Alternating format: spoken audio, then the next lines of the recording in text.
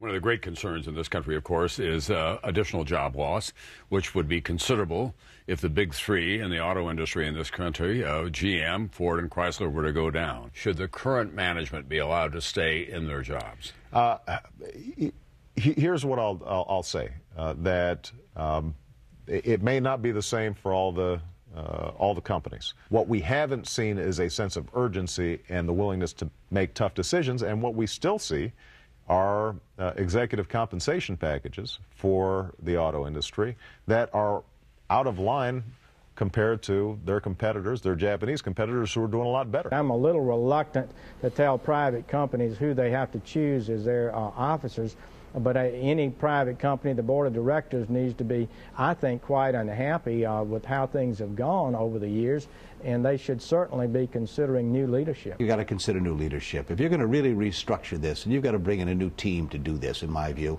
and that's uh, and, and these, should that be part of the condition I, of any bailout? I think it's going to have to be part of it. Uh, so what the, you're saying about GM is that Rick Wagoner, the chairman, has to go. I, I think he has to move on. I sure don't want to have the management that drove this country and this company into a ditch stay on and hope that they're going to somehow miraculously drive it out. So I would totally endorse new management. By the way, if we could, um, and we're talking about bringing in a broom, of course we can't do this.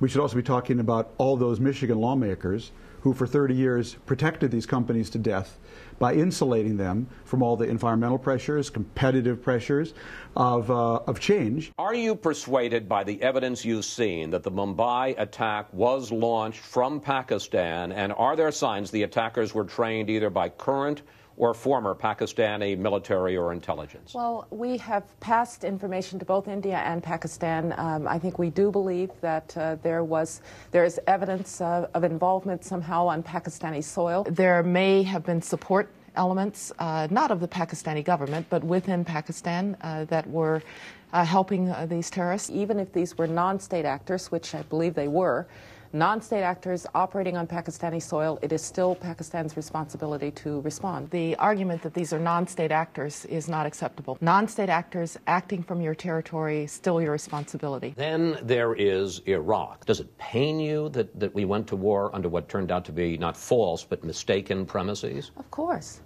Um, I, I, would give anything uh, to be able to go back and to know precisely what we were going to find when we were there. But uh, that isn't the way that uh, these things work. And I still believe that the overthrow of Saddam Hussein is going to turn out to be a great strategic achievement, not just for the Bush administration, uh, but for the United States of America. Did R- Donald Rumsfeld mismanage the Iraq War in the beginning?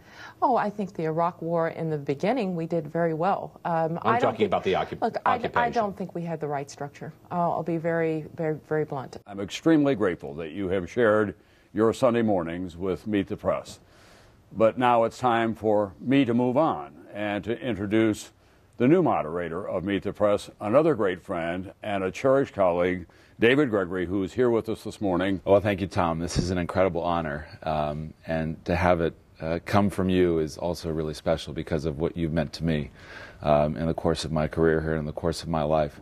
Um, I know how Betsy and the staff and, and I feel so grateful to you for everything you brought to the program in such a difficult time after Tim died. And it's really meant a lot. It's meant a lot to the country, it's meant a lot to us to see your example. Um, I'm not Tim, but along with this great team, I can just work real hard to make him proud.